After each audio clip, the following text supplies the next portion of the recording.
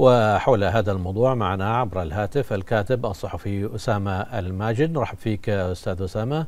بداية يعني ما ورد في كلمة مملكة البحرين في الأمم المتحدة عن دعم المملكة المستمر لإصلاح المنظومة الأممية. كيف تقرأ ذلك وكيف تقرأ جهود مملكة البحرين لإصلاح المنظمة الأممية؟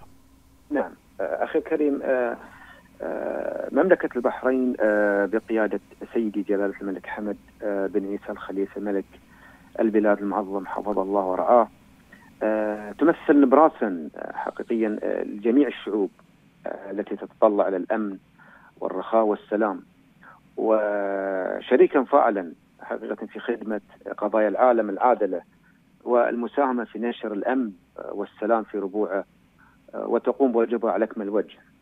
أخي الكريم وهذا الوطن العزيز دائما يعني يحمل المسؤولية التاريخية تجاه مختلف القضايا الدولية والصدق والعمق وقول الحق ويقوم بنشاط واسع النطاق في سبيل تقدم وازدهار شعوب العالم.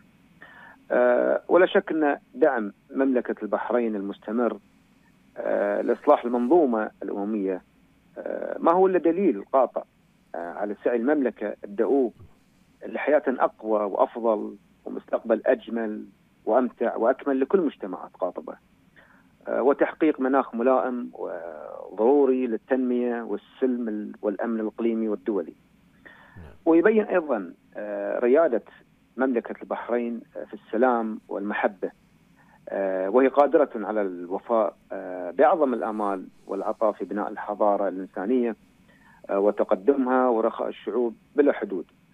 خصوصا والعالم والمنطقة تحديدا يعني تمر بتحديات أمنية وسياسية واقتصادية تحتاج إلى نظرة علمية منهجية ذات طابع شمولي وتجاوز الإرث المزمن من المصاعب والعقبات على مختلف الأصعدة. نعم. لذلك ينبغي على الأمم المتحدة أن تقوم بدورها الذي أنشأت من أجله وهو صون السلم والامن الدوليين.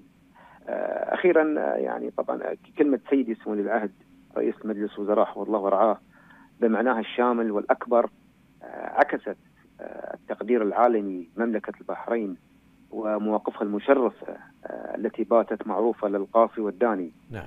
والتاريخ مليء بأمثلة بليغة على الجهود الجبارة التي تبذلها من أجل الأمن والاستقرار. نعم الكاتب الصحفي أسامة الماجد شكرا جزيلا لك.